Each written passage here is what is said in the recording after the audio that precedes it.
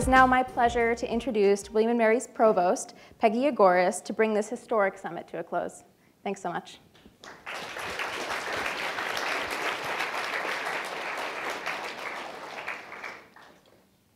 Um, hello, everyone. Uh, it has been a great honor and pleasure and privilege to um, um, partner with NATO for all of us at William & Mary to organize today's Youth Summit. Over the last several weeks, um, as the event drew near, our two teams became one, a massive accomplishment on its own. I want to echo Colleen's and President Rowe's uh, comments and thank sincerely everyone who dedicated their time to gather a truly incredible lineup of panelists who generously, generously shared their expertise and community with us today. I'd also like to thank the titular youth in the room and online for sharing your interests, passions, and energy, and for the work that lies ahead. There was a question earlier this morning addressed to the Secretary General about the significance of youth for NATO. And um, I really want to reinforce um, the Secretary's answer and say it is the youth's dynamism and enthusiasm that plays the most critical role in actually re-energizing, mobilizing, and ultimately leading NATO into the future. So um, as General Lavigne said previously, I too feel young.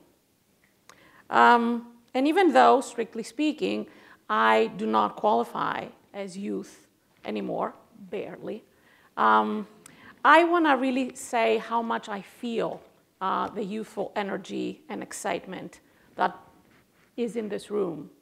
And think of the future and about the tremendous potential that is around the room today, your potential to make the future something wonderful. Personally, and uh, even though I spent most of my adult life in the United States, I was born and uh, spent my formative years in Greece. Um, NATO has always been a presence in our lives in Greece. One of the older members of NATO. Um, Greece, as you know, uh, and as um, the president of Microsoft mentioned, is a small country, but of historical importance, but also geopolitically important, with all the good and bad that comes with it. As such, we had um, our fair share of conflict. So growing up, I felt the presence of threat to my family, my friends, and my nation, particularly before uh, all the years um, after the war the Second World War and before the collapse of the Warsaw Pact. Greece was the last European frontier, not only geographically because of its location, but also figuratively as the only democratic nation um, in, in the Balkans in an era of the Eastern Bloc. And so um, it was really, you know, because of NATO that we felt comfort to know that Greece was not alone against the rest of the world. And you can understand the powerfulness of this feeling. We were a country within an organization that supported its members, and we knew that. I grew up humbled by NATO as an idea, but also by the visibility of NATO as an organization. There is great and important and personal power in the idea of NATO creating a sense of safety and security that is necessary in many areas of the world, projecting stability through cooperation, and intrinsically promoting something which is both simple and profound, survival. Survival of the individual, survival of the nation, state, survival of democracy, liberty, and the rule of law, both within and outside NATO borders. NATO and other organizations like universities, like us, to the European Union, all the way to the European Union, also generate a feeling of belonging to something bigger than one's own national borders. And belonging is one of the seven explicitly mentioned, published, and practiced values at William and Mary.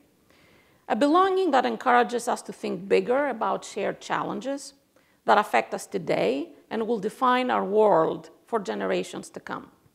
An example of thinking bigger is the challenge to protect our environment and combat climate change, and the complex issues of poverty, migration, disinformation, as we just saw, and artificial intelligence. In other words, the challenges you have considered today in this room and will consider in your work, your scholarship, and your daily lives.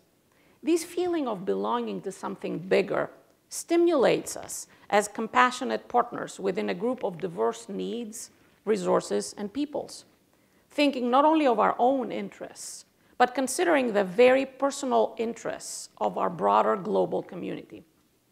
As I felt in Greece as a younger person, and as I feel now, standing here at an event full of intelligent, passionate people, we are not alone.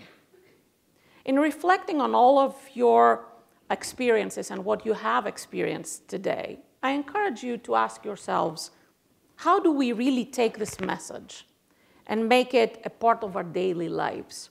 How can this message comfort and at the same time drive us? How can this perspective that we are not alone influence decisions we make as we vote, as we educate ourselves, as we help one another? Because even as we consider the more narrowly defined interests of our own countries, there are consequences in our actions that affect others. And ultimately, these consequences will return to us. William and Mary takes very seriously our role in teaching and preservation of democratic values and international cooperation. It is the responsibility of higher education to provide spaces of belonging, of community, and connection among students, faculty, global experts, local environments, and our communities in general, to gather strength and resources and to guide the potential of youth to extraordinary achievement. As the provost of William and Mary, I have the tremendous privilege of being the chief academic officer of our university. As such, my office connects with every corner of academic inquiry at William and Mary. From the GeoLab, a student-driven lab that works to create and promote vibrant global societies of data-driven policymakers, to the Virginia Institute of Marine Science, where critical expertise on coastal resilience and climate change predicts and plans for the future. The William and Mary community of undergraduates, graduate students, faculty, and off-campus partners are constantly pushing the boundaries of discovery, scholarship, and teaching, uncovering new possibilities, and even transforming fields of scholarship with a mindset of curiosity, agility, and innovation like the William and Mary students and alumni that have participated today, and there have been many. I'm sure that all of you have passions and cross disciplines, and that encourages and excites all of us at William and Mary. Because the university is a space of exploration, trying new things, creating new things, where you discover yourselves as young professionals, expand the boundaries of your potential, and transform that potential into purpose. Today, my faith in, your, in our shared mission of peace, cooperation, and ideation grew in bounds and leaps because I see in you all, students, graduates, and young professionals, those of you who have been present in Brussels, very late by now, and here in DC, and many, many more who have joined us virtually. I see in you a remarkable community with transformative plans yet to be made. And since this has been a wonderful but long day, I will leave you with this. Ask impossible questions. Stretch beyond what you believe you are capable. And remember, we're not alone. Thank you.